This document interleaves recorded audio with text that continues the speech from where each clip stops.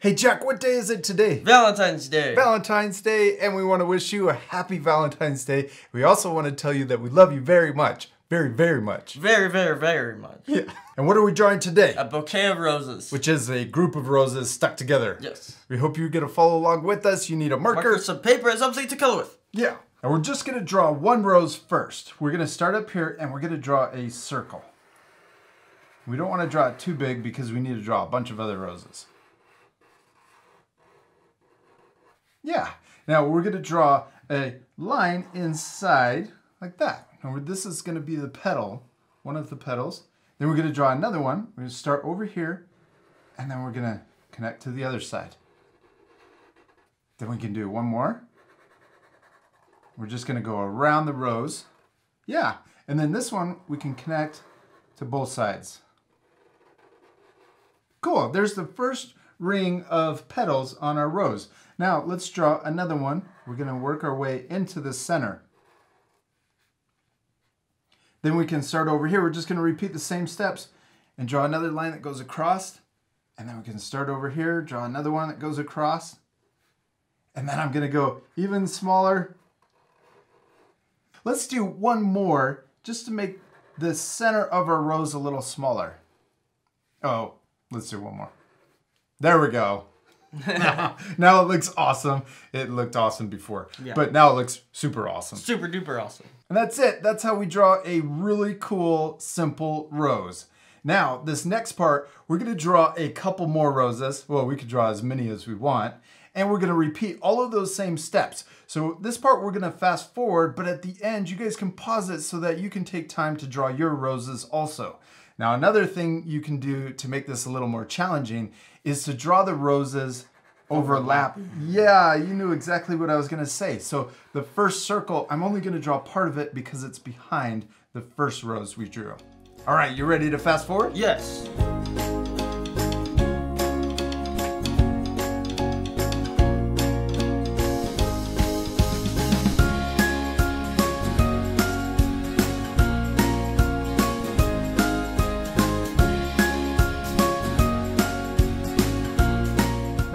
Next, we're gonna draw a few leaves sticking out from behind the roses. So first, let's draw a leaf right here. We're gonna draw one coming down. Then we can draw on the very end, we're gonna draw a V, looks like an arrow. Yeah. Then we're gonna draw a zigzag line curving into the rose. And we can do the same thing on the other side. There we go. Now, we could also add a few extra lines coming out from the center vein to make it look more like a leaf. You did a great job. Now we're gonna use those exact same steps that we used to draw that one leaf to draw a couple more leaves around our roses.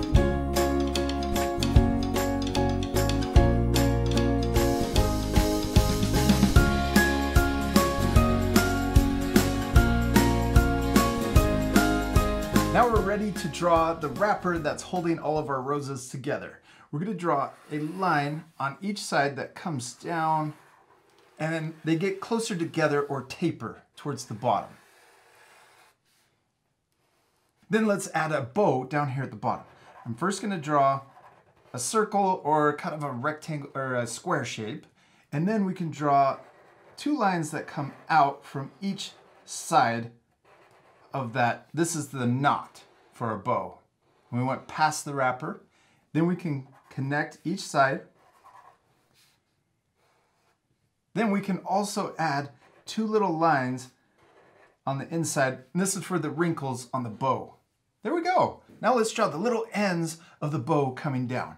So I'm going to draw a wavy line that comes out like this on each side. Then let's draw a wavy line right next to the first one we drew on both sides. And I'm trying to match the same waviness of the first one. yeah.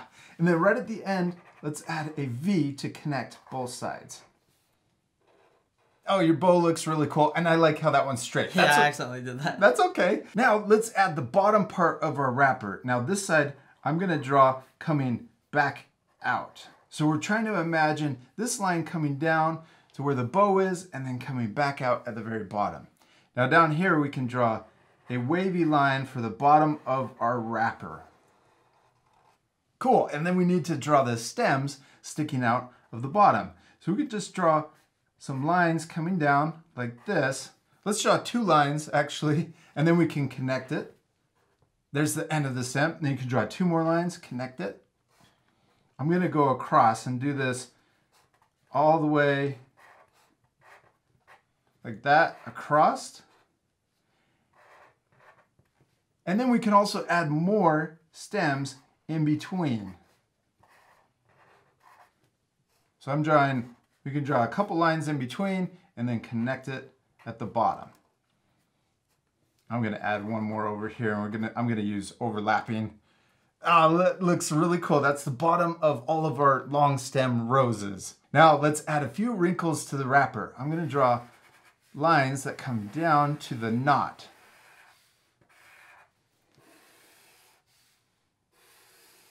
And they can be different lengths. Yeah. And then down here, we can do the same thing. I'm going to draw some of the lines long and some of them short. And they're connecting up here to that knot on the bow. Jack, you did an awesome job on your roses. It looks really cool. And it was pretty simple, right? Yeah. It looks a little complicated, but because we took it one step at a time, it was pretty easy. Now we're not completely done with our drawings, right? Yes. What do we still need to do? Color it. Color it. It's gonna look even better once we color it. Now this part we're gonna fast forward, but at the end you guys can pause it to match the same color.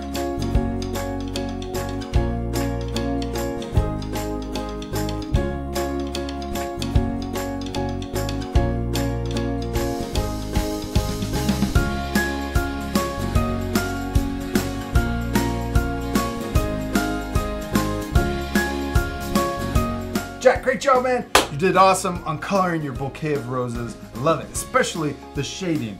You did a great job on the wrapper, and I also love that you colored the center of the roses darker. We hope you had a lot of fun drawing your roses. Yeah, we did. We hope you had a lot of fun, and we hope you have a happy Valentine's Day. And we'll see you later, our friends. Goodbye.